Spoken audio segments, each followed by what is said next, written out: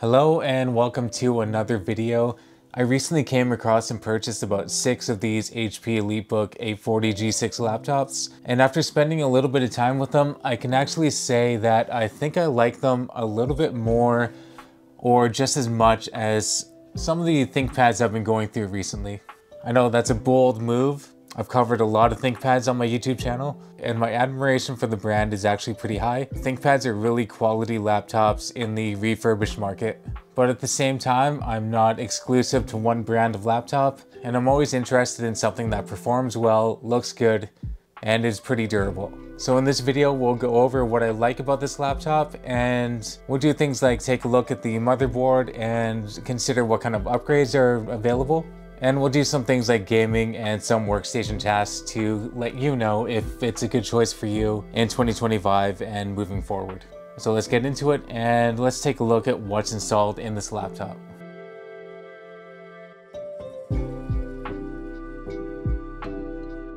So the first thing I like about this laptop is the 1920 by 1080 IPS display panel. As you can see, it is pretty bright and the side viewing angles are pretty decent. It's hard to replicate this on this camera, but looking at it in person is a pretty nice experience. Viewing my own videos in all the 1080p glory that I can offer is a pleasant experience. On the spec sheet, it is noted that there is a 250 nits and 400 nits version of the 1080p display. Now I have no way to measure this, the panel appears to be very bright. I want to lean towards 400 nits, but honestly, I don't know. All I do know is that it looks pretty crisp and I like it.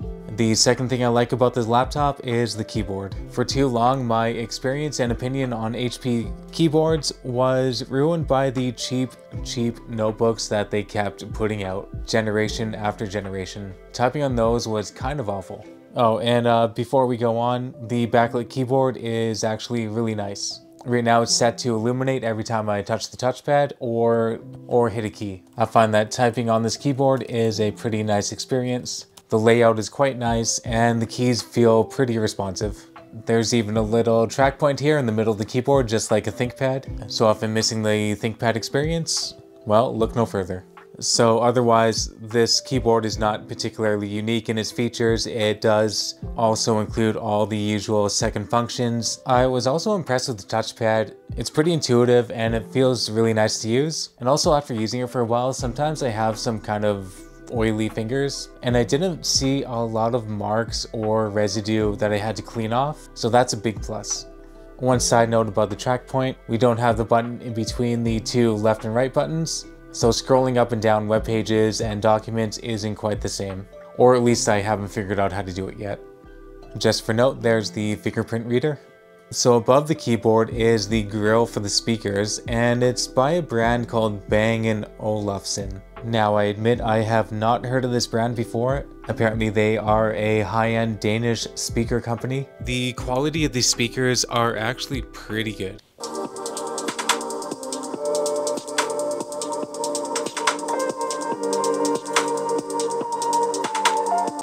Gaming motherboard. I've got the rig connected to power with no portable monitor setup. I don't think it's going to matter. Again, the symptom supposedly is that it power. I could easily use this laptop as my daily driver, although my work needs are not really that intense, which is why we'll test out DaVinci Resolve and Handbrake later on in the video.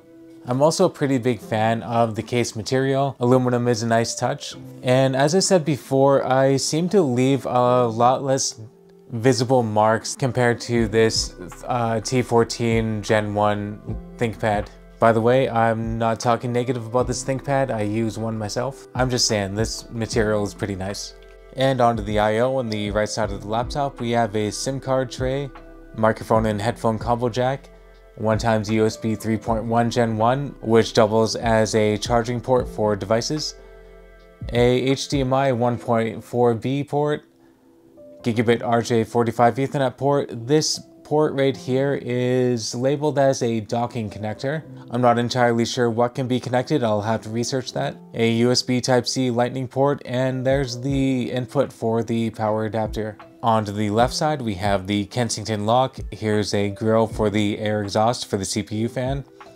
Another USB 3.1 Gen 1. And this would be the spot for a smart card reader if there would be one installed. And while we're taking a look at the size of the laptop, we can see there's some extra branding on the back, which is kind of a nice aesthetic feature. And on the bottom, we have that same aluminum material, which is nice. Some rubber feet to keep the laptop in place and provide some passive airflow. And this grill right here is some air intake for the CPU fan and other components. Okay, so we're gonna take the bottom panel off and take a look at the motherboard and go over some potential upgrade options. What I like about this design is the easy access. It's very similar to this X280, so you just need a Phillips head screwdriver and we'll remove the visible screws what I like to see is that there's no screws hidden underneath the little rubber pads or rubber strips like with those cheaper HP notebooks that I referenced earlier. And a flat piece of plastic like this iFixit tool or a plastic guitar pick will do nicely in loosening the tabs on the bottom panel.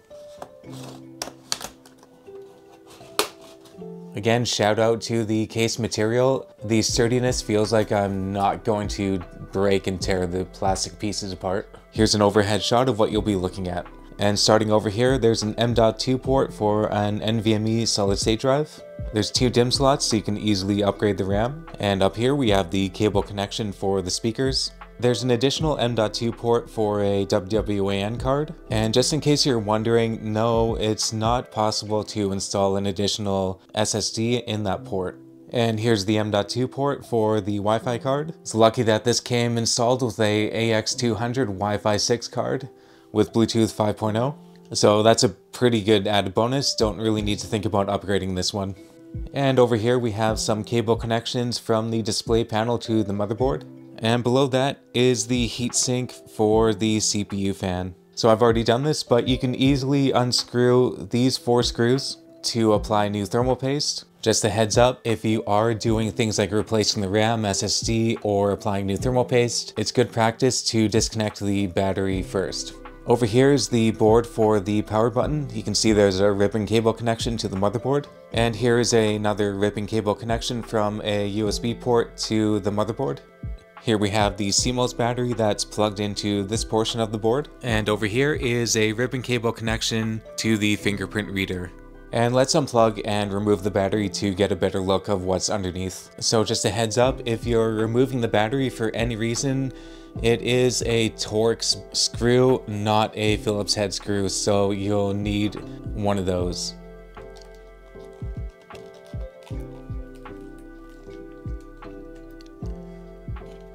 So I took out this little plastic placeholder here that's in the smart card reader slot. And this is kind of an interesting board. You can see there's LED lights down here. And you can see that there is a ribbon cable connection to the motherboard. And there's also a ribbon cable connection here that is connected to a board either right beside on top of or connected to the touchpad. This section of the board is actually empty and I'm guessing that is where you could either install or replace this board entirely to be able to use this smart card reader.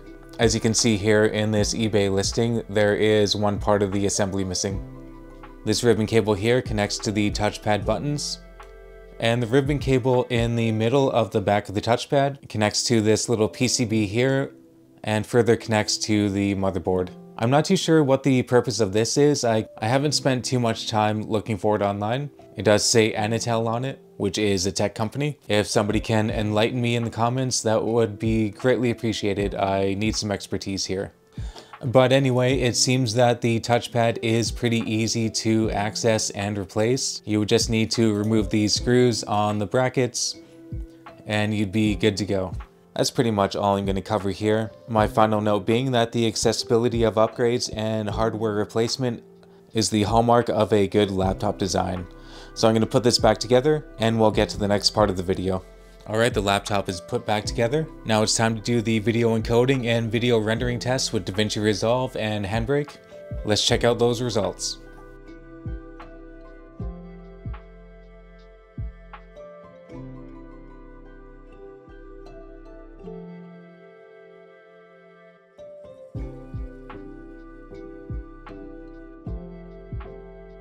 Alright, so now it's time to test out some gaming. I've got a mouse plugged in, my Steam library is loaded up onto this NVMe adapter connected via the USB Type-C Thunderbolt port. And to record the gameplay footage, I've got this HDMI cable plugged in, and I'll be capturing on my workstation PC over here via a Elgato PCIe capture card. And I'm going to keep the test reasonable. I'll be testing out Half-Life and Portal 2. I'd like to showcase some games that will run very well, uh, not games that'll run okay, because we're looking into the future here, and in 2025, kind of like the mid-tier gaming on a laptop like this is going to be a little limited. However, there is a plethora of older or lighter titles that you can play. So let's check that out.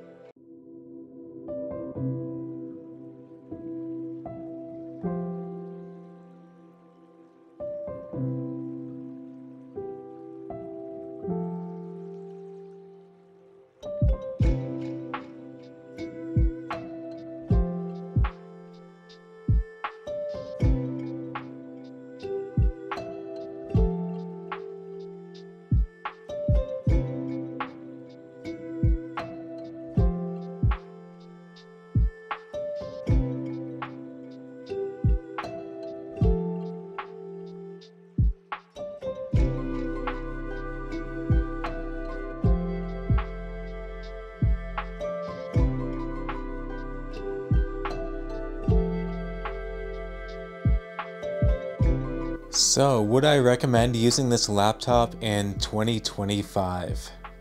Absolutely, I would. And just for reference, myself personally, I could see myself using it for general use, web surfing, YouTube videos, using things like Microsoft Office, and also doing some light video editing on the road. You just have to manage your expectations for video rendering, you'll be waiting a little bit longer. But to be honest, I'm not on deadlines, I just do this more as a hobby. Hopefully this helps guide your decision on whether or not this is a good fit for you. My only advice would be to not pay too much for it, and hopefully that's a possibility wherever in the world that you live. Thanks a lot for watching, and I hope you have a great day.